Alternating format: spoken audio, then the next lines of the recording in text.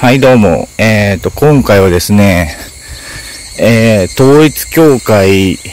は、スルメなんじゃないかっていうことについてですね、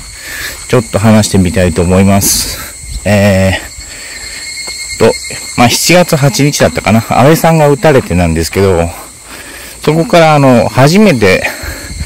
ここ何十年で初めて統一教会っていう名前が出たんですよ。えー、で、そこからですね、こう、続けば続くほど味が出るわけですよ。えー、安倍さんつつけば味が出て、自民党つつけば味が出て、自民党なんて一人ずつつついても、どんどんどんどん美味しい味が出てくるわけですよ。で、立憲民主党も味が出て、公明党も味が出るでしょ？えー、で、あと維新も、もう美味しい味がどんどん出て、で、令和とかね、N 国とかあの辺小さいところは、いい味が出ないんですけど、あのー、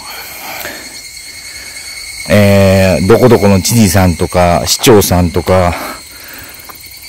ちょっとね、県会議員とかね、市議会議員レベルまではちょっとまだ話が出てないんだけど、